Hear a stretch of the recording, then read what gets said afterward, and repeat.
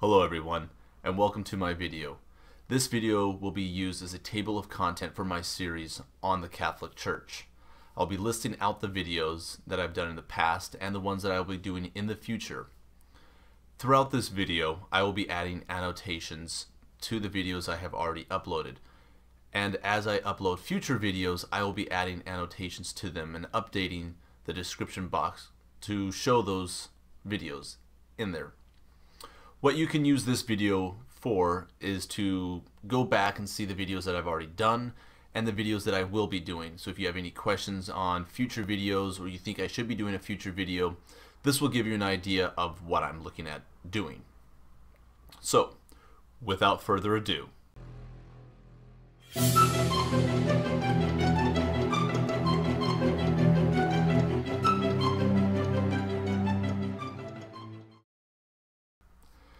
Video number one How Catholics View Themselves.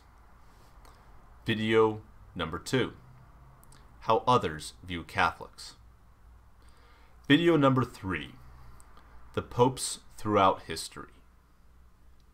Video number four How Rome Became the See of Peter. Video 5 Paul, the First Christian. Video 6 Early Christian Sects and Beliefs. Video 7 Nicaea, Where the Church Began. Video 8 Catholicism and the Roman Empire. Video 9 The Great Influencers, Doctors and Theologians. Video 10 History, Revised, Revisited, Ruined. Video 11 Power Corrupts Infallibility of the Pope. Video 12. How many martyrs were there really? Video 13. Who really wrote the Gospels? Video 14. Pagan practices put to use. Easter, Christmas, and the holidays. Video 15.